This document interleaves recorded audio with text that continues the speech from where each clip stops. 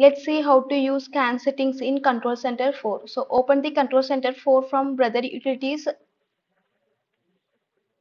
So in the control center 4 you can edit scan settings in in two ways. One is under scan settings and another one is under device settings. So the both are giving the same options to edit your scanning. The only difference is you can select the image ocr email and file separately. When it comes to device settings you will see all the options in one dialog box. Otherwise the controls are same in all options.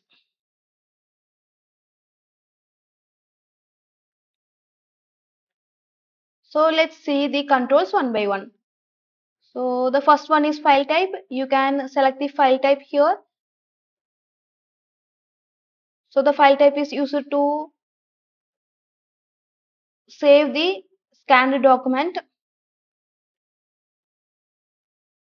Here you can select the quality.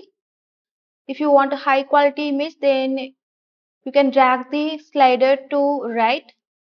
Next option is target application. So target application is the application which is used to open your saved document.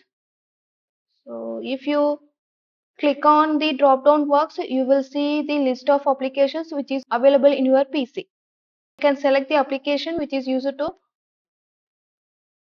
open your scan document. Then here it is the file name. Uh, if you want to change the file name then you can uh, click on change button and you can change the file name style here.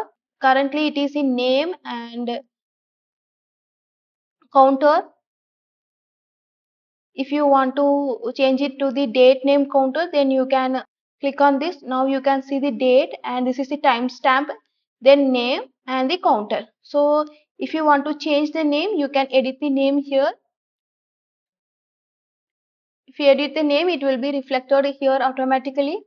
Then if you want to change the date format then you can select the date format from here. And if you want to remove timestamp then you can simply unmark the checkbox here. Or if you want to include the timestamp then mark the checkbox. When it comes to counter so the continuous has six digits by default. If you want to change the digits in counter then enable the option reset after each job. Then you can change the counter here so if you choose 3 here then you will see there is only 3 digits here. Then leave initial value as 1 so i'm going to uh, give continuous here and click ok.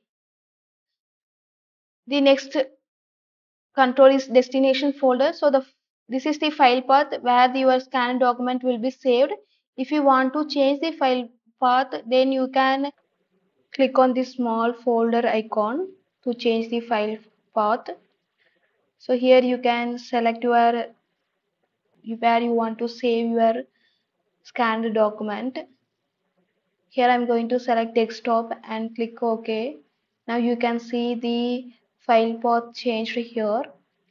The next option is resolution. So you can change the resolution here. So the default resolution is 300 into 300 dpi the next control is scan type.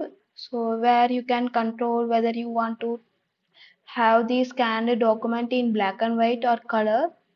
So you can select the option which you want. And here the document size. So the most of the time the document size would be a4 so if you want to scan an id card then you can enable this checkbox. Otherwise leave as it is and leave bright and contrast as it is. Now go to advanced settings. If you want to skip the blank page while scanning document you can mark the checkbox here and click ok. Click ok to scan the document